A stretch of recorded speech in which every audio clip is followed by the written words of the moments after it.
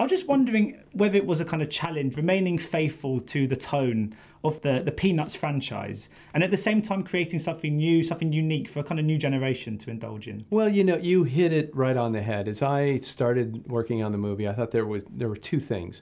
One, you want to honor the legacy of the work that Charles Schulz has created. That means staying true to the tone and the spirit of what Peanuts has always been.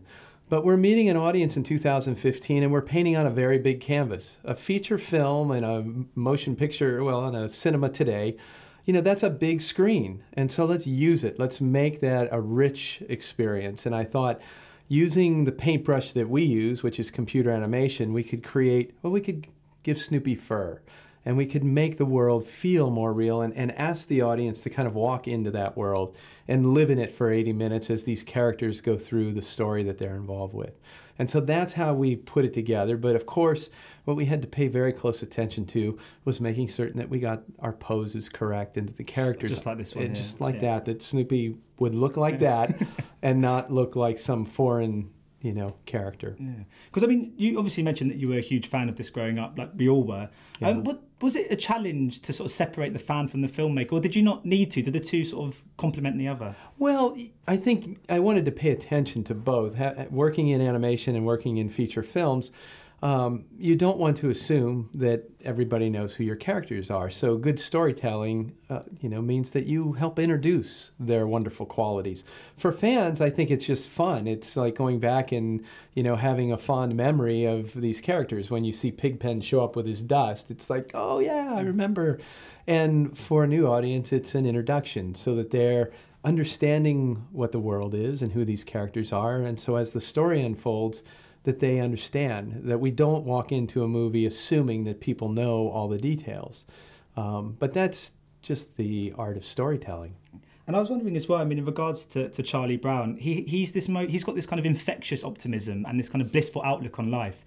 When you're doing an animation, it must be a really arduous sort of process. Was it? Did it make it easier to kind of to progress through it when you're dealing with a character who never gives up? I yeah, I will tell you, my favorite character growing up was Snoopy.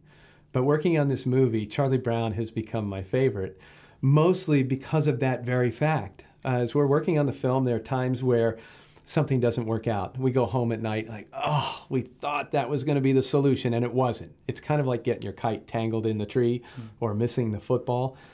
And I would get up the next morning and say, no, we're working on Charlie Brown and Peanuts. We got to be like Charlie Brown. Today's the day we're going to solve that problem. And so he gave me a big dose of positive attitude on the film. And having just obviously uh, drawn with you today, I mean, there's something very beautiful about this and natural about drawing sort of animation like this. But obviously, this is computer animated. Mm-hmm. I'm just wondering what the decision was to, to go, down, go down that path in the end. Well, I for me, I thought there were some things that we would get uh, from computer animation, in particular lighting and mood, and and and even as like characters would walk through the snow, the sense that that snow is really there, that would make the world feel like it's more alive, a little more real. But the other thing that I wrestled with from day one is that I look at Charles Schulz videotape of him drawing those characters, and that pen line is beautiful. And so the other mantra that I passed on to my team is that I want to find his pen line in everything we do. And so the design of the characters, you see that Charlie Brown has that little wiggle pen line of a smile with the little ink droplets on the corners. Uh, so stylistically, we tried to showcase that handmade quality that Charles Schulz put into his drawings. So just finally, very quickly, I was I saw the movie this morning and absolutely loved it, and I was sort of surrounded by parents and, and their children, and everyone was kind of enjoying it. I was wondering what gives you more gratification, the, the, the sound of a child's laugh or, or hearing the parents chuckle? I tell you, it's seeing both of them sit in an audience and get enjoyment out of what we've made. Uh, in the process of making the movie for the three years, often that you can overlook that fact. You know, we're trying to figure out how to make Snoopy pose like this, and uh, you know, you're worried you're worried about the technical challenges and the details. And to me, the great reminder is to walk into a theater and see a family sitting there and knowing that they've paid their money and they're going to enjoy something together and it's a memory that they get to take and share beyond the film. Maybe there's something in the story that they actually talk about after. Uh, so to me, it's both. It's seeing the, you know, both uh, enjoy it. And sometimes for different reasons, laughs that pop up where adults are all laughing because it's something that Lucy might have said that might go right over the heads of a kid. And then, of course, Snoopy, with all of his fun, gets everybody laughing.